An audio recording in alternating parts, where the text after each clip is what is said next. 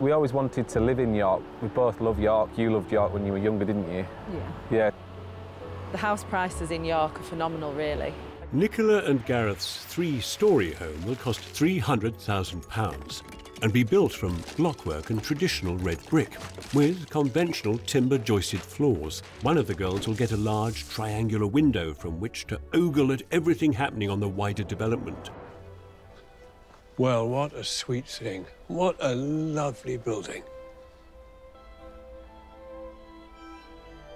Well enough crafted, too. You have designed and laid out everything here, and yet what you've produced, the pair of you, is a house which is extremely functional, really ergonomic, really well thought out. It's a remarkable achievement for someone who isn't an architect to design something so well thought through and beautifully finished.